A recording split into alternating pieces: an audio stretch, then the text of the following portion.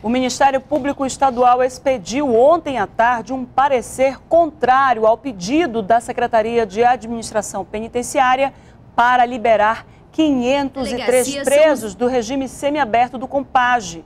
A SEAP queria que eles cumprissem a pena em prisão domiciliar e fossem monitorados por meio de tornozeleiras eletrônicas. Mas o Ministério Público fundamentou o posicionamento na Constituição Federal e na Lei de Execuções Penais para dar o parecer contrário. Os promotores entendem que a pena é individualizada, ou seja, cada caso é um caso e os presos não podem ser tratados de forma coletiva. Quatro pessoas foram presas suspeitas de tráfico de drogas em diferentes zonas da capital. No total, foram apreendidos 35 quilos de entorpecentes.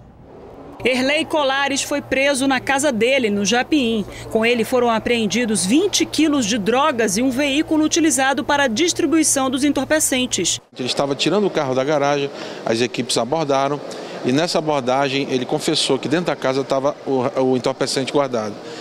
Adentramos na, na residência, lá tinham quatro malas. Uma mala com entorpecente que foi apreendido e as outras três malas estavam vazias, o que leva a crer que ele já tinha distribuído aquela parte da droga. Depois disso, a polícia recebeu informações que um homem receberia uma quantidade de drogas em um bar da Zona Norte. Quando chegaram ao local, prenderam Emerson Aparício, Cirlei Castro e a mulher dele, Erilene da Silva. Com o trio, 15 quilos de drogas e uma motocicleta foram apreendidos. Nós fizemos um acompanhamento dele na Cidade Nova e conseguimos é, localizar no momento que eles estavam tirando o entorpecente. Foi preso uma mulher e dois homens que estavam movimentando esse entorpecente para entregar para abastecimento das bocas na zona da cidade de Manaus. Dos quatro, somente Erilene não tinha passagem pela polícia. O grupo foi autuado por tráfico de drogas e associação ao tráfico.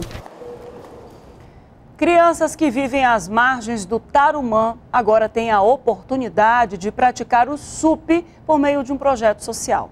O esporte com prancha e remo alia aventura ao belo cenário da Amazônia.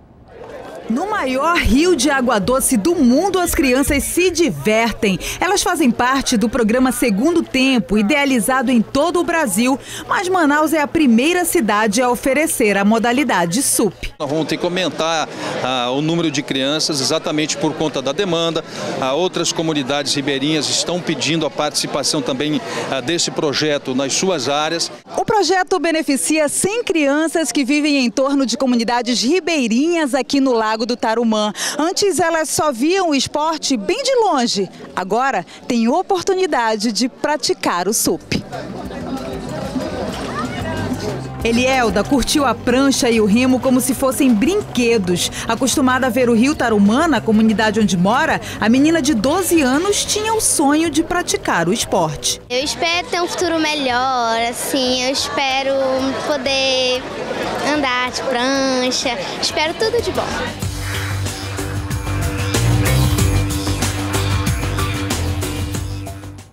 E a gente segue falando de esporte, só que agora vamos falar de basquete. Flamengo e Vasco treinaram hoje para o jogo de amanhã pela Liga Nacional de Basquete. Vai ser o segundo clássico dos milhões na história do NBB, o Novo Basquete Brasil.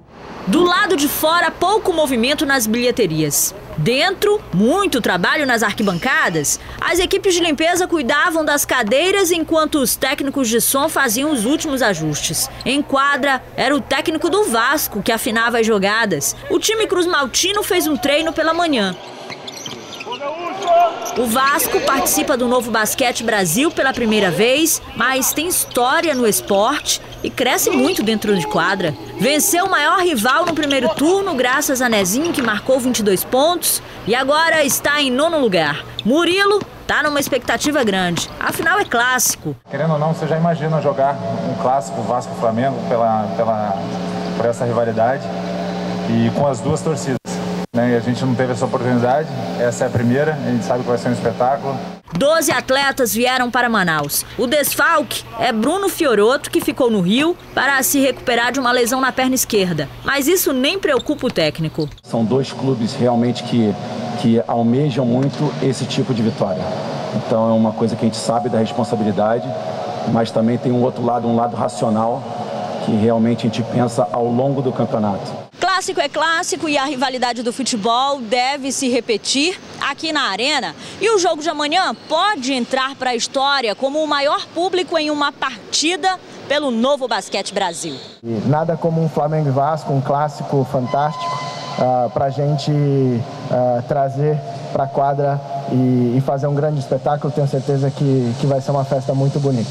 Dos 12 mil ingressos disponibilizados, mais da metade já foi vendida e a segurança vai ser reforçada. Nós temos um reforço na Polícia Militar, um reforço na inteligência da Polícia Civil, para que nada aconteça e que nós possamos sair daqui tão felizes quanto no início do jogo. O Flamengo também treinou nesta sexta-feira. É o maior campeão da história do Novo Basquete Brasil e líder da competição. Mas as vitórias do Mogi e do Brasília essa semana aumentaram a responsabilidade. Com certeza é uma coisa que é, dá um ânimo ainda mais porque a gente sabe que agora depende única e exclusivamente só da gente para a gente terminar essa fase de classificação em primeiro lugar, que é um objetivo que a gente tem. José Neto tem tanta segurança assim porque está na quinta temporada com o Flamengo e já foi quatro vezes campeão da Liga Nacional de Basquete. Mais veterano que ele, só o Marcelinho mesmo, que disputou todas as edições do NBB. É lógico que no final das contas, na tabela do campeonato vai ser mais uma vitória ou mais uma derrota,